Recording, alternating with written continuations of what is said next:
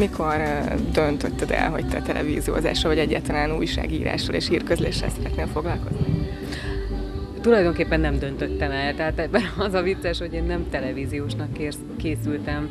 Gyere, gyerekkoromban inkább úgy gondoltam, hogy tanítónő leszek, olyannyira, hogy el is végeztem a tanítóképző főiskolát Kaposváron, és ott az egyik magyar tanárom szólt, de már a diplomaosztó környékén, hogy a helyi városi televízióba keresnek riportereket, és ő úgy gondolja, hogy nekem azt érdemes lenne megpróbálni.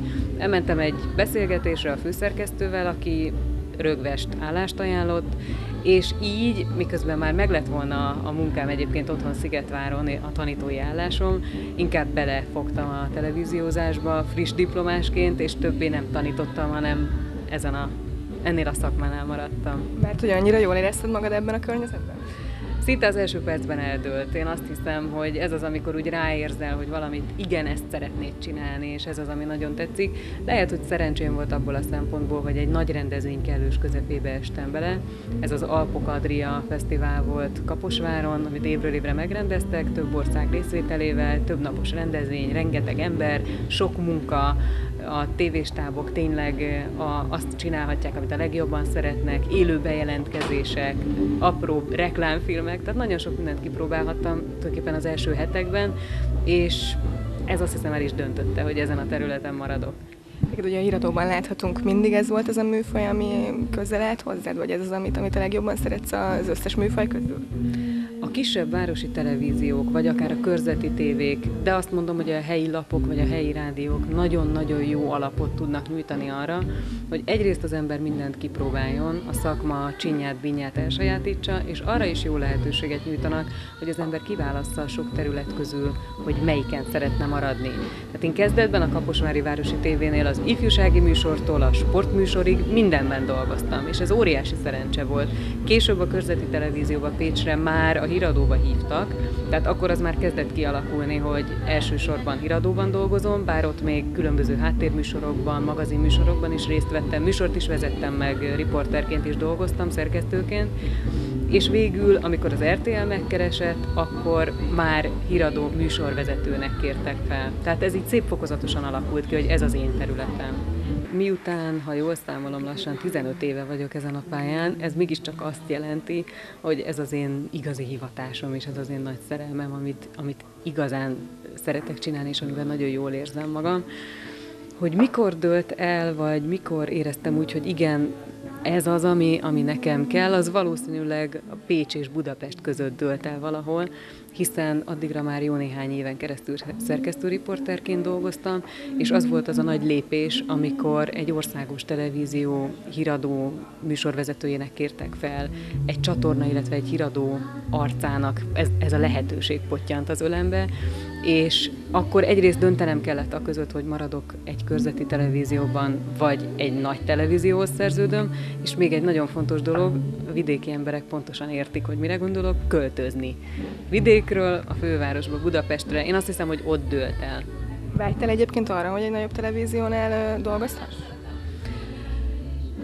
Leginkább talán arra vágytam, hogy, hogy minden területen kipróbálhassam magam, és a képernyős munka volt a legkevesebb, amit vidéken gyakorolhattam, tehát ebből erre vágytam inkább, hogy ezen a területen még inkább kipróbálhassam magam választási műsorokban, élő bejelentkezésekben, helyszíni tudósításokban, vagy akár élő helyszíni bejelentkezésekben különböző pontjairól az országnak, és ezeket a lehetőségeket én az RTL-nél kaptam meg de arra nem vágytam őszintén szólva, hogy a fővárosba kelljen költöznöm, ahol most már jól érzem magam, de nagyon-nagyon nehezen szoktam meg. Inkább ez volt a nagy váltás az életemben, hogy a, a magánéletemben, hogy a lakóhelyemet kellett megváltoztatni, és egy viszonylag kis településről egy nagyobb bacskára, ugye én Szigetvári vagyok, és onnan költöztem Kaposvár, aztán Pécsre, és onnan föl Budapestre, ez sokkal nagyobb váltást jelentett akkor számomra, mint egyébként a televíziós munka, hiszen azt már előtte is gyakoroltam. Véleményed szerint elméleti vagy gyakorlati alap kell ahhoz, hogy valaki hiteles és, és szakmailag jól felkészült mondjuk televíziózás, televíziósá válhasson? Ketté választanám a dolgot. Én azt hiszem, hogy a hitelesség és a szakmai tudás az jó esetben együtt jár, és a kettő tudja egymást segíteni. Ha valaki hiteles, akkor, akkor talán a szakmai tudást is könnyebben meg tudja szerezni, vagy hogyha szakmailag felkészült, akkor hitelessé is válhat egy idő után. De önmagában véve a hitelességet megszerezni, vagy megkapni nem lehet.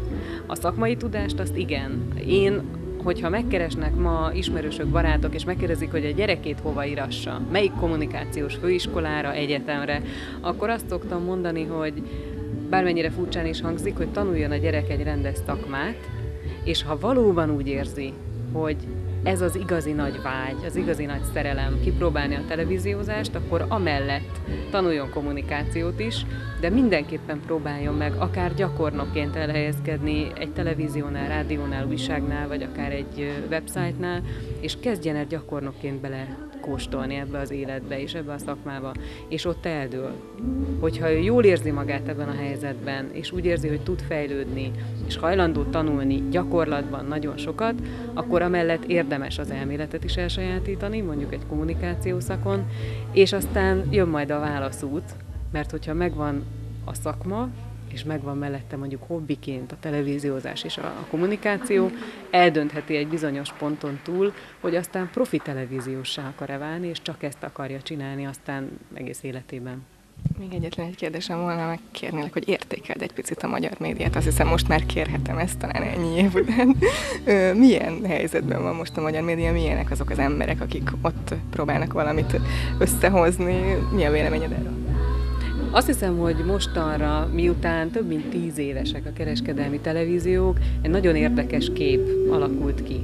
Hiszen akkor például, amikor engem az RTL megkeresett, akkor nem nagyon tudtuk mi magunk televíziósok sem, hogy mi az, hogy kereskedelmi televíziózás. Talán nem véletlen, hogy én nem az első pillanatban léptem be, hanem körülbelül fél évvel az RTL indulása után kerestek meg, és akkor is volt bennem egy jó néhány kérdés, de egy nagy kérdés igen, hogy milyen ez a kereskedelmi televíziós, mi lesz ebből? A kereskedelmi televíziók létezni fognak tíz év múlva is, vagy sem. Most tíz év múlva ugye elmondhatjuk, hogy igen, léteznek, és, és nagyon fontos részét képezik a magyar médiának, de hát azóta nagyon sok minden megváltozott. Tíz évvel ezelőtt az internet például nem volt a mindennapi munkánk része. A különböző hírszájtok, híroldalak, azok nem játszottak olyan szerepet az életünkben, mint ma. Hát ma olyan információ áradat zúdul ránk egyrészt, és olyan információ folyamban tudunk részt venni, ami 10 évvel ezelőtt szinte elképzelhetetlen volt, vagy 15 évvel ezelőtt, amikor én elkezdtem televíziózni. Tehát nyilván én a saját szakmám szempontjából nézem a dolgokat, és azt látom, hogy egyre gazdagabb ez a kínálat. Egyetlen feladatunk van, ebből a kínálatból tudatosan és jól választani.